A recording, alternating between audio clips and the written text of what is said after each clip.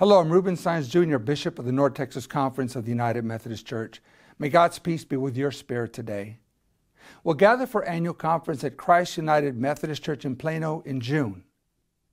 We'll discuss several important topics during the conference, including legislation and resolutions. Understanding the difference between legislative items and resolutions is important before the conference begins. Legislative items are binding and have operational and financial implications. These items include setting budgets, for example. When the body votes on a legislative item, it votes to approve a proposal and then take action. Resolutions, on the other hand, express the ideals and opinions of the legislative body on an issue.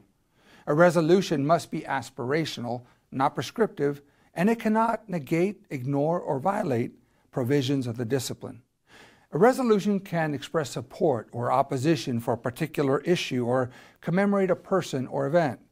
Resolutions can encourage particular actions within the annual conference and on behalf of the annual conference. We've seen resolutions serve as powerful signals of our shared beliefs, values, and hopes as United Methodists.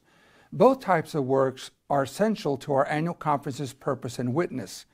You know, it's part of our Wesleyan heritage to encourage and engage in holy conferencing seeking God's will for our church to spirit led dialogue with one another. By making space for honest and thoughtful discussion, we can model to society what it looks like to listen well, grow in our understanding, collaborate to effect change, and even disagree without becoming disagreeable or disrespectful.